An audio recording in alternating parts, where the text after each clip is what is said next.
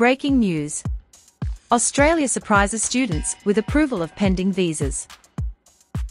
Australia has unexpectedly approved student visa applications for over 30 Iranian PhD students.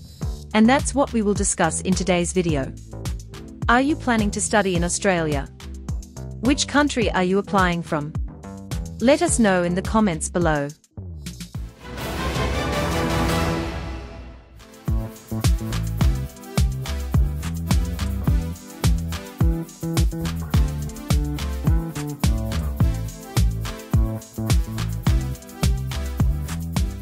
Last month's reports revealed that hundreds of overseas students from different countries, including Pakistan, India, China, and Iran, have been waiting for three years to receive visa approvals, even after getting admission to Australian universities to start their PhD education.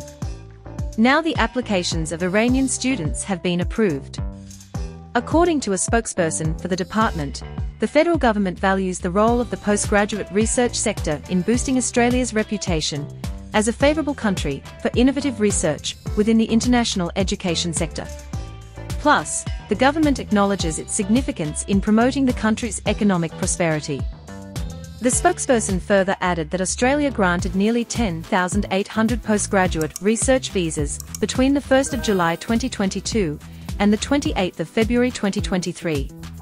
And most of them went to applicants from China. In contrast, India ranked 3rd, Pakistan 8th, and Iran 9th. Moreover, according to a Melbourne migration agent, who has also worked as an assistant secretary at the Immigration Department, stated that many cases await processing due to security reasons. The agent said security agencies flagged some cases as concerning, leading to prolonged delays. Our video update for today ends here. Subscribe to our channel and share our videos on Facebook, and WhatsApp to support our channel. Thanks for watching.